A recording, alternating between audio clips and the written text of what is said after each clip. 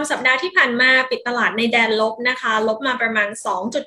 2.88%ท่ามกลางการซื้อขายที่ค่อนข้างผันผวนค่ะ กรอบการเคลื่อนไหวของทองคำจาก high สุดในระหว่างสัปดาห์จนถึงระดับต่ำสุดในระหว่างสัปดาห์เนี่ยกว้างถึงประมาณ 70 ดอลลาร์ต่อออนซ์เลยค่ะ ถึงแม้ว่าต้นสัปดาห์ทองคำจะได้รับแรงกดดันอย่างหนักหลังจากที่ประธานาธิบดีโจไบเดนของสหรัฐ มีการ renomination หรือว่าเสนอชื่อคุณเจอโรมพาวเวลประธานเฟดกลับเข้ามาเป็นประธานเฟดเป็นสมัยที่2นะคะปัจจัยนี้เองกระตุ้นให้เกิดการคาดการณ์ว่าเฟดจะเร่งขึ้นดอกเบี้ย ซึ่งเป็นปัจจัยกดดันทองคำให้ร่วงลงมาแต่ระดับต่ำสุดบริเวณ 1,777 US ดอลลาร์ค่ะ แต่หลังจากนั้นทองคำก็พยายามทรงตัวรักษาระดับในช่วงวันพุธวันพฤหัส แล้วก็ปรับตัวขึ้นแรงในช่วงต้นของตลาดเอเชีย รวมถึงต่อเนื่องจนถึงตลาดยุโรปในวันศุกร์นะคะ สาเหตุสำคัญที่ทำให้ทองคำกลับมามีแรงซื้อก็เนื่องจากความวิตกกังวล เกี่ยวกับการระบาดของโควิด -19 สายพันธุ์ใหม่นะคะ เป็นสายพันธุ์ที่มีการกลายพันธุ์ในโปรตีนสไปค์ในหลาย ๆตำแหน่งจนก่อให้เกิดความกังวลค่ะว่า ตัวเจ้าสายพันธุ์ใหม่โอเมครอนนี้อาจจะกระทบต่อการเติบโตทางเศรษฐกิจทั่วโลกนะคะปัจจัยนี้เองกระตุ้นแรงขายในตัวสินทรัพย์เสี่ยงค่ะ ตลาดหุ้นทั่วโลกปรับตัวลงแรงในวันศุกร์นะคะ จนกระตุ้นแรงซื้อสินทรัพย์ปลอดภัยในวงกว้าง ทองคำเองก็ได้อานิสงส์เชิงบวกจากแรงซื้อสินทรัพย์ปลอดภัย รวมถึงแรงซื้อพันธบัตรในฐานะสินทรัพย์ปลอดภัยก็กดดันบอลยิว10 ปีของสหรัฐให้ล่วงลงแต่ระดับต่ำสุด ต่ำกว่าระดับ 1.5%นะคะ ปัจจัยนี้เองดันให้ทองคำดีดตัวขึ้นไปแต่ 1,815ยูสทีอลค่ะ ซึ่งถือว่าเป็นกรอบบนของทองคำเป็นกรอบระยะสั้นนะคะ อีกจุดหนึ่งค่ะ การเทสทองคำหาไฮบริเวณ 1,850 มาพร้อมกับสัญญาณ RSI ใน time frame 1 ชั่วโมง ซึ่งบ่งชี้ว่าอยู่ในภาวะ overbought หรือว่าซื้อมากเกินไป แถมยังมีสัญญาณทางเทคนิคที่เรียกว่า bearish RSI divergence ใน time frame 1 ชั่วโมงนะคะ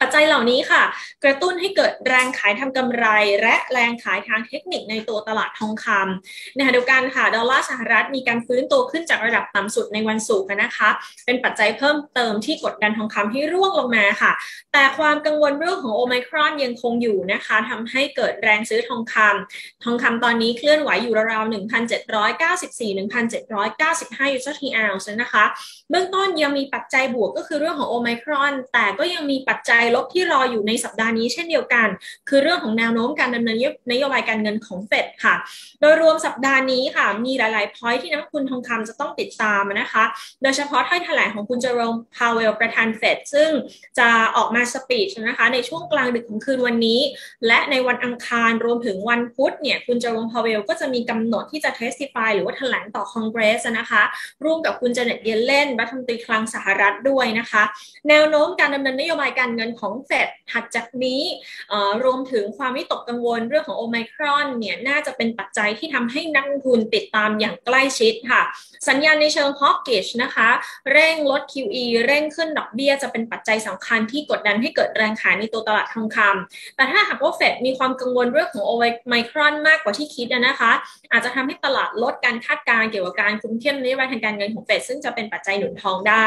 นอกจาก part ของเฟดแล้วยังมีตัวเลขสำคัญในตลาดแรงงานสหรัฐ วันศุกร์นี้ค่ะ จะมีการเปิดเผยการจ้างงานนอกภาคการเกษตร หรือว่า non farm employment change รวมถึงอัตราการว่างงานค่ะ ซึ่งตัวเลขในตลาดแรงงานจะถือว่าเป็นตัวเลขสำคัญนะนะคะ เพราะว่าจะทำให้นักทุนเนี่ยใช้ในการคาดการณ์การดำเนินนโยบายการเงินของเฟดในระยะถัดไปค่ะ นี่คือ 2 เรื่องที่นักทุนต้องติดตามค่ะ ที่สำคัญต้องติดตามว่าตกลงแล้ว โอไมครอนนะคะ มีความรุนแรงมากกว่าเดลต้าหรือไม่นะคะ เพราะว่า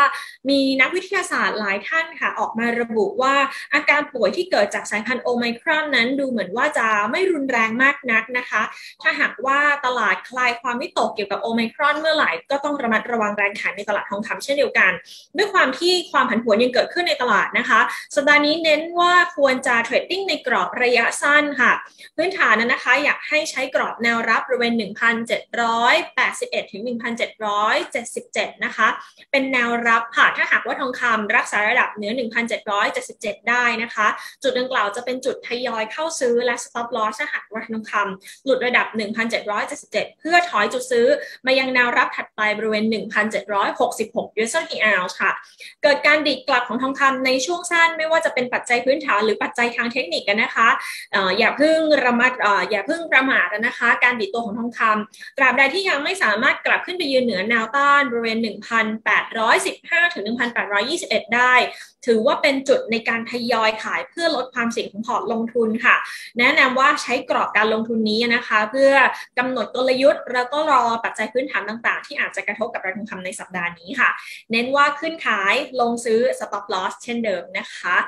ก่อนจะลากันไปค่ะ ขอฝากโปรโมชั่นดีๆของ YLG ค่ะ ช่วงนี้วางเงินหลักประกันนะคะ50,000ในแง่ของทองคำแท่งก็สามารถซื้อขายทองคำแท่งได้ในหลาย ๆ รูปแบบนะคะ ทั้ง 99.99 96.5 ค่ะ แต่อยากจะฝากโปรโมชั่นของ YLG Futures ค่ะ ตอนนี้มีโปรโมชั่นลดค่าคอมมิชชั่น 80%ทุก Product นะคะ ลดตั้งแต่สัญญาแรกไม่มีขั้นต่ำด้วยค่ะ หรือใครเทรดในตลาด global นะคะ เดือนธันวาวันหยุดไทยอาจจะเยอะนะคะ แต่ว่าถ้าหากว่าเทรดในตลาด global ก็จะไม่พลาดทุกโอกาสในการลงทุนค่ะ ไม่ว่าจะเป็นสัญญา Infinity Futures นะคะ ตัว Crypto Futures หรือแม้แต่กระทั่ง Go Futures ก็สามารถที่จะมาเปิดพอร์ตลงทุนกับ YLG Futures ได้ค่ะ